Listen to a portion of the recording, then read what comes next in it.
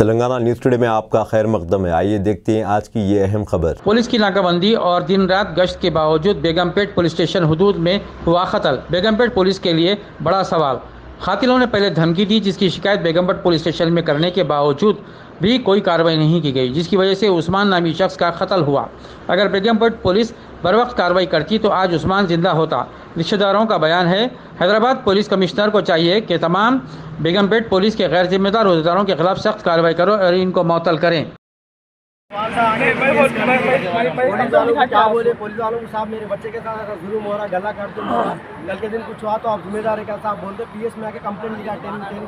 तो अब वो केस होने के बाद पूरा होने के बाद हमारा बच्चा लेके घर को आ रहा था उसको ले आके रोड पे मार दिए चार आठ जने मिलके हमारे बराबर। पुलिस वाले वो बाहर के चार पोटे हैं उसमें से एक पोटा और साहिल रैन के घर में रहता था पोटा वो पोटा वो पोटा भी चार बजे मारने को गया करते उसको चार बजे मारने का हमारा भाई चार बजे मेरे फ़ोन करा मेरा नंबर फ़ोन दो। चार बजे मैं फ़ोन करा मैं नहीं उठा मैं बिज़ी में था फ़ोन नहीं उठा उसका कॉल उन्हें कहीं के लिए करा नहीं हुआ फिर रिटर्न करने के लिए गया मैं अभी जस्ट ग्यारह बजे खाने ग्यारह बजे खाने के लिए आया। आते कि मेरा दोस्त फ़ोन करा भैया तुम्हारे भाई का इंतकाल होगा डेड बॉडी को मर्डर कर दिए इधर बोल के। उनको बोल दिया देखो चार बार कॉल करा। सिक्स बार कॉल करा मेरे। कहीं को करा बोल के मैं रिटर्न करेंगे बोल के घर पे जाके मिल लिए तो। बात बराबर होती बोल के मैं आया। उसके लिए इसका केस हो ये हो गया।